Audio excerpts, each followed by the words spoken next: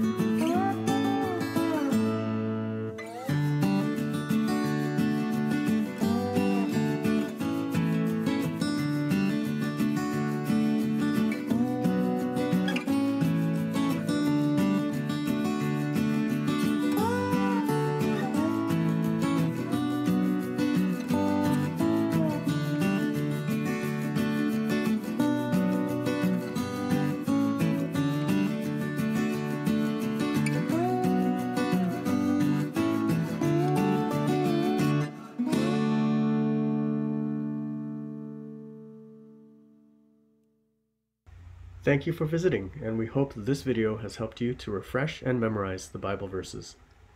If you like this video, please click the thumbs up icon below and leave a comment to let us know how you decided to memorize the scripture with us. If you would like to support this channel and know when new videos are uploaded, please click the subscribe button below and click the bell to turn on notifications. Happy memorizing!